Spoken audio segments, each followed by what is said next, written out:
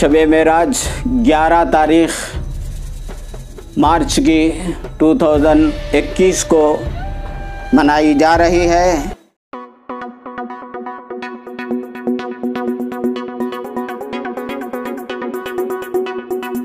असलकम वरहमतुल्लाहि वबरकातुहू। तमाम बिरादरान इस्लाम को ये खुशखबरी दी जाती है कि अल्लाह तबारक व ताली ने हमको शब मराज नसीब फरमाया है इन रात को ख़ास कर एक कुरान मजीद में इस रात का ज़िक्र आया है और सरकार दो आलम सल्लल्लाहु अलैहि वसल्लम ने अपने जिस्मानी आँखों से अल्लाह तबारक व ताली का दीदार फरमाया है, जिसका आँख है वो ज़ात। जो ले गया अपने बंदे को रातों रात मस्जिद हराम से मस्जिद अक्सा की तरफ़ और मस्जिद अक्सा के बाद अपनी ख़ास निशानियों को बतलाया इन नहू समीबसीर वह ज़ात ऐसी ज़ात है जो देखने वाली भी है और सुनने वाली भी है। इस तरह से कुरान मजीद में बहुत सारे मकामात पर सरकार दो आलम सल्लल्लाहु अलैहि वसल्लम के मरातब बयान किए गए हैं। हम सरकार आलम सल्ला वसल्लम के उम्मती हैं, बड़े खुश नसीब हैं।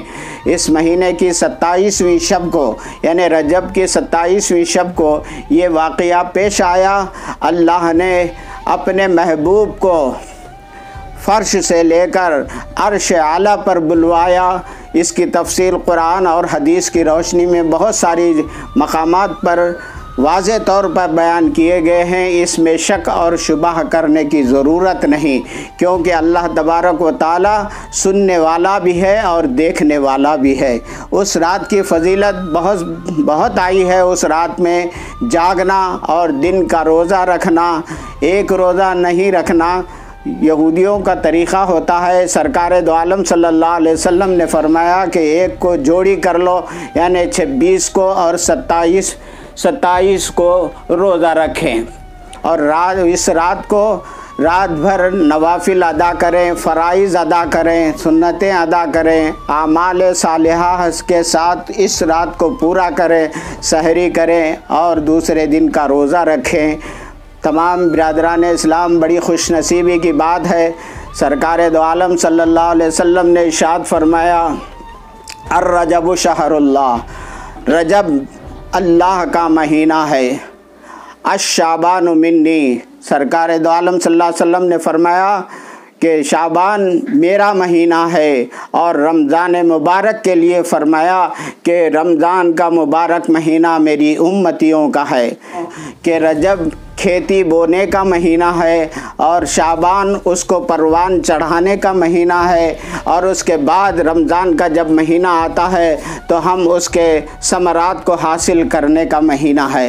और अल्लाह के हुक्म की फर्मा बरदारी और उसके रसूल की मोहब्बत में अल्लाह के रसूल की फर्मा बरदारी करने लग जाएँगे रजब के महीने में, शाबान के महीने में। और जब रमज़ान का महीना आता है तो रमज़ान मुबारक के महीने में हम इतनी इबादत करते हैं, अल्लाह ताला हमको नेमतों से सरफराज फरमाता है। नहीं हम खुद सुधरें, हमारे घर वालों को सुधारें तो और जो है, हम दो की आग से जलने से बच जाएँगे।